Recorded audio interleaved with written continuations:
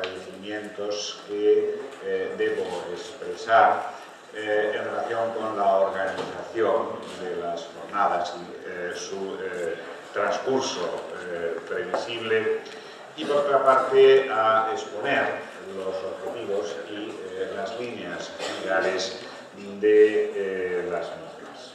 Comenzando por el capítulo de agradecimientos, quiero agradecer en primer lugar la presidencia, eh, a la presidenta de la CUE por eh, su continuado esfuerzo por estar presente eh, y por contribuir con su presencia, con su palabra, en todo este amplio proceso de reflexión sobre la Universidad Española y por sus gestiones en momentos especialmente difíciles ante las autoridades para hacer presentes eh, lo que creo que son nuestras legítimas aspiraciones, las del sistema universitario español, que se quedaron expresadas en aquel manifiesto en el que tomábamos eh, postura sobre el momento, nuestra disposición al cambio, nuestras eh, necesidades y la esperanza en que la colaboración entre las autoridades y la universidad nos llevaran a eh, desbloquear entonces la situación, ahora desbloqueada, a resolver los problemas que entonces destacábamos. Agradecimiento a la persona del consejero de Educación de la Junta por el esfuerzo que hace en esa situación eh, difícil también de bisagra entre el gobierno y estas autoridades, que es una política que sabe que eh, pues tenemos que publicar, como lo hacemos de manera que entraña una disposición al encuentro y al eh, desarrollo en común de todo aquello que podamos eh, hacer eh, así. El director de la Escuela de Ingenieros Industriales, por su sentido institucional, que le ha agradecido muchas veces, al frente de un centro cualitativa y cuantitativamente muy importante para la Universidad de Valladolid, para algunos aspectos especialmente eh, candentes hoy, como el de las relaciones con las eh, empresas, por ello y por el papel de anfitrión en estas eh, jornadas. A los intervinientes en la mesa de hoy y en todas las mesas sucesivas por su generosa colaboración, por lo que vamos a aprender de su experiencia de su eh, conocimiento de los temas a veces ya expuestos en eh, comunicaciones anteriores, en informes al coordinador de estas eh, jornadas, al Banco de Santander por su patrocinio y a todos los que de una manera u otra nos han hecho, posibles, han hecho posible el arranque y el funcionamiento de estas jornadas.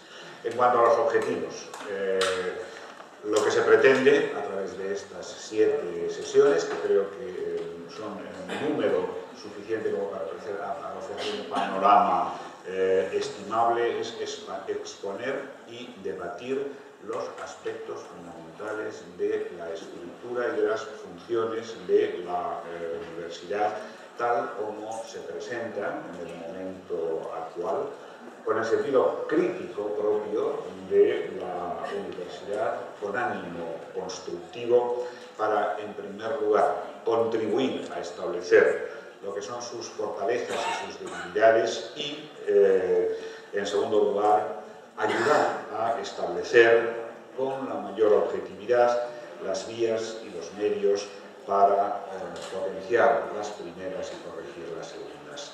Con ello la Universidad de Valladolid se suma en definitiva a un proceso de debate previo análisis de la situación de la universidad y de la sociedad española, de la que es un exponente eh, representativo, eh, un proceso de análisis y de eh, discusión que yo diría que es endémico en la sociedad, eh, perdón, en la universidad, pues por ese afán crítico, que se ha reavivado hace algunos años como consecuencia de las modificaciones que hemos debido introducir para adaptar nuestro sistema al espacio europeo de educación eh, superior y en España especialmente ante eh, la perspectiva de una nueva fase en eso que periodísticamente se ha llamado la reforma perpetua de la Universidad eh, Española en un contexto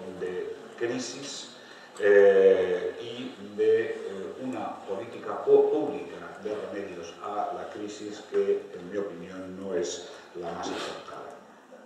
De esta última fase del proceso del autoanálisis, que tiene su parte de autocrítica y de autoafirmación, son en manifestación las numerosas eh, jornadas que han tenido lugar en otras universidades y en otros ámbitos eh, de eh, nuestro país.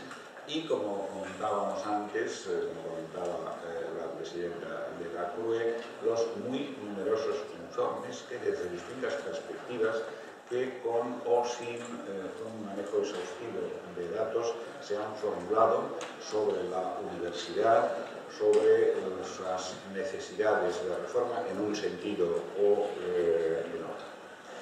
Eh, uno de estos informes adquiere ciertamente o puede adquirir un relieve especial en la medida que ha sido solicitado por el gobierno y puede ser eh, especialmente significativo en la eventual reforma de la universidad. Son las propuestas de reforma eh, y mejora de la calidad y eficiencia del sistema universitario, uno, una de, cuyos, eh, de cuyas redactoras nos acompaña hoy, participará en la mesa redonda que tendrá lugar a continuación.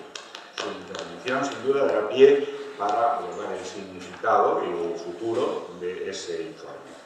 Intervenciones posteriores, en sesiones posteriores, eh, nos traerán a personas que han eh, elaborado incluso informes eh, personales, como el doctor Virgili, en relación con temas de carácter general y concretamente de la gobernanza.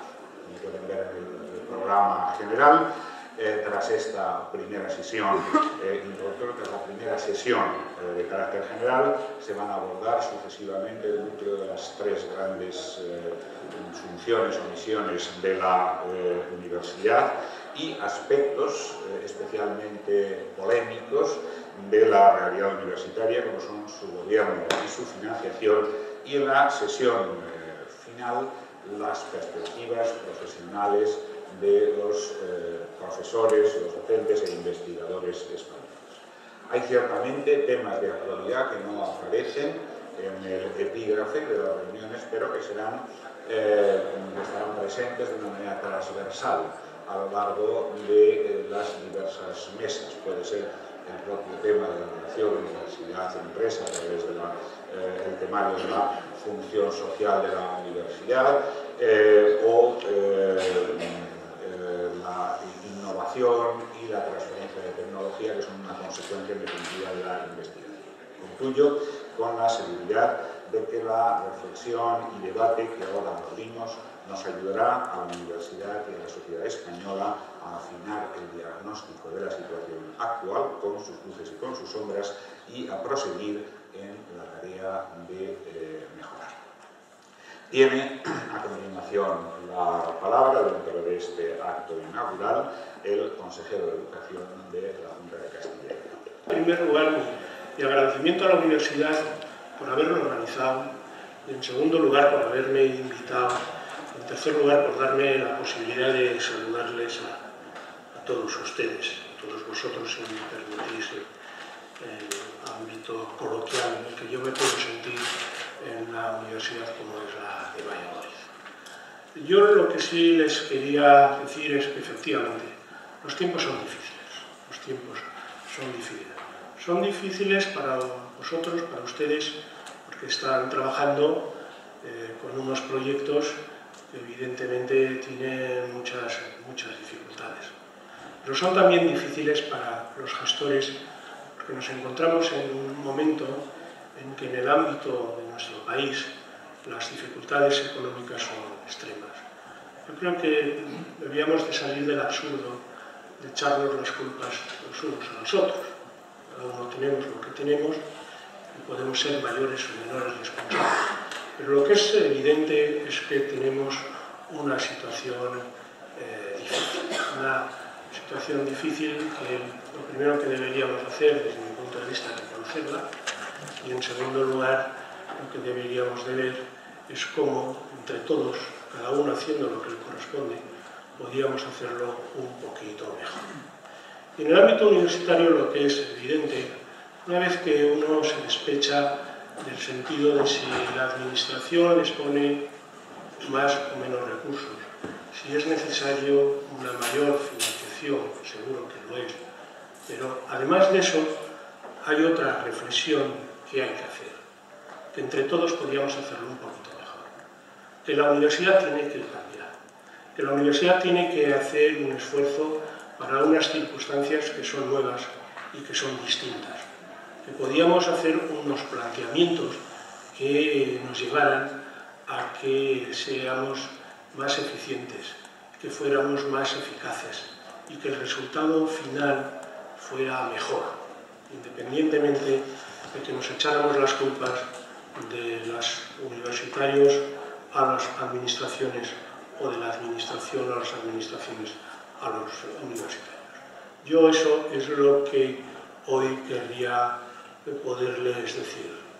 La Consejería de Educación, consejero, director general, no tenemos la solución, desgraciado, de los muchos problemas que hay, pero sí la estamos buscando. Sí le estamos diciendo a la universidad a través de los distintos medios, que podemos cambiar un poquito, que podemos hacer que nuestras titulaciones sean un poco diferentes.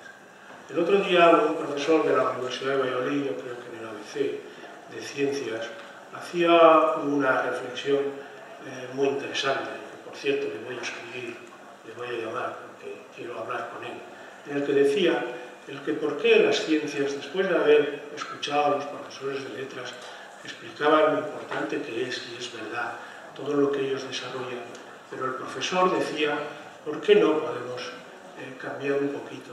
¿Por qué no podemos hacer que las ciencias colaboren con las letras? ¿Por qué en determinadas titulaciones que son lo que son y deben de ser lo que son, no le podemos añadir otras cuestiones muy importantes en un mundo tan diferente como en el que nosotros estamos viviendo? Ese es el esfuerzo que tenemos que hacer. Por eso nosotros en la universidad, a las universidades, estamos diciendo, pongamos sobre la mesa qué cambios se pueden hacer para que las titulaciones sean más eficientes, para que las titulaciones sean mejores, para que las titulaciones sirvan más a los problemas que tenemos en el mundo actual. ¿Cómo lo podemos hacer? Nosotros les hemos hecho un pequeño proyecto, vamos a esperar a que ustedes, con sus reflexiones, estamos dispuestos a, cambiar, estamos dispuestos a poner sobre la mesa eh, muchas eh, otras cosas pero lo que sí es evidente es que deberíamos de cambiar. Y esa es la propuesta que yo hoy, sin concretar, porque no puedo concretar, porque no sé concretar, no les puedo hacer. Pero sí estoy dispuesto, sí estoy dispuesto a escucharles, a que nos pongan sobre la mesa posibles soluciones para que elijamos las mejores soluciones. No estamos en contra de nada, no nos sobra nadie, no queremos que allí cuando una titulación pueda tener que cambiar, el profesor tenga que cambiar, tenga que desaparecer. No estamos en eso, eso no es lo que quiere la Consejería de Educación. La Consejería de Educación lo que quiere es que los profesores pues, puedan hacer una labor lo más eficaz posible, lo mejor, y además, si es posible, y esto es difícil, que incluso se sintieran pues, gratificados en, en su labor. Pero evidentemente si no hacemos nada, si dejamos que las cosas sigan igual, si tenemos lo que tenemos, pues la Universidad Española en general, la de Castilla y León en particular, pues tiene muchas ineficiencias. Hagamos una reflexión conjunta. pongan sobre la mesa lo que ustedes consideren más oportuno, pero provoquemos el cambio, no para que todo sea igual. Muchas gracias y espero que a través de las eh, jornadas o a través de las fórmulas que hoy quiera la universidad encuentren una consejería de educación, un director y un consejero que está dispuesto, desde luego, a escucharles. Muchas gracias. Jornadas que comienzan hoy con una perspectiva general y que luego va a ir enfatizando en temas más puntuales como puedan ser la, el gobierno y la misión, la docencia, la investigación, la responsabilidad social, la financiación, etc. Eh, quiero dar, por lo tanto, la bienvenida a todos los ponentes y asistentes, tanto a los físicos, que estamos aquí físicamente, como a los que nos siguen a través de, la web, eh, en esta escuela que, como ha dicho el rector, eh, es una de las más grandes, pero que además de serlo, eh, creemos que hemos iniciado un camino para poder demostrar y esperemos que algún día eh, podamos recoger esos frutos. Decía que mi papel aquí era el de anfitrión y como tal lo que veía era limitarme a daros las gracias, la bienvenida, a esperar que estas jornadas realmente sean fructíferas, haya un debate enriquecedor. Si bien a raíz de las palabras del consejero, no puedo sino decir que efectivamente los tiempos son difíciles, pero debemos gestionar con unos valores, una palabra que muchas veces se olvida, que tienen que ser sólidos y universales, ¿eh? donde a veces los recursos no es lo limitante ¿eh? la gestión del cambio muchas veces está muy limitada y encorsetada. Creo que si realmente consiguiéramos unir esta media docena de palabras, ¿eh? probablemente definiríamos o ayudaríamos a construir un modelo que fuera más flexible y que realmente alineara los esfuerzos, que es lo que realmente tenemos que hacer, alinear todo. Pero repito, eh, me pidió que realmente hiciera de anfitrión, luego del debate, pues espero poder estar y poder eh, debatir y contribuir a su enriquecimiento, puesto que el pequeño rato que hemos estado a puerta cerrada ya empezaba la cosa eh, pues a, realmente a ser enriquecedora y espero que eso lo podamos hacer público. Bienvenidos a esta escuela, a vuestra escuela y gracias a todos. Quedan las jornadas sobre la Universidad Pública Española. Eh, llamo a la mesa a las personas que van a intervenir, doña Laira de la calle Martín, doña Vera Cristiana Nolfi, doña María Laurea Corres y don José Ferrer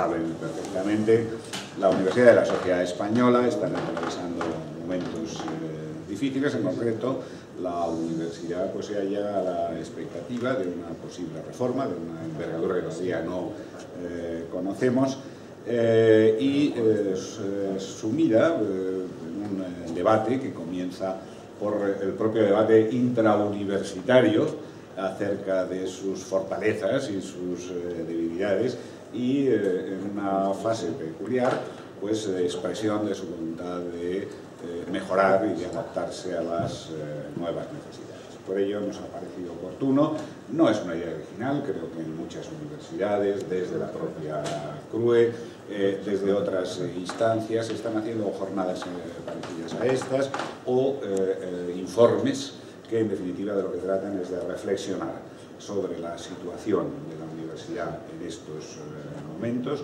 sus problemas, las necesidades de reforma y las vías de solución ante las que, como ponen de relieve, incluso el último informe del gobierno, existen diversos puntos de vista que por tanto exigen un debate, una reflexión eh, seria de cara a obtener esas eh, vías de solución de los eh, problemas. También el gobierno hace sus planteamientos o si esas divergencias tan profundas.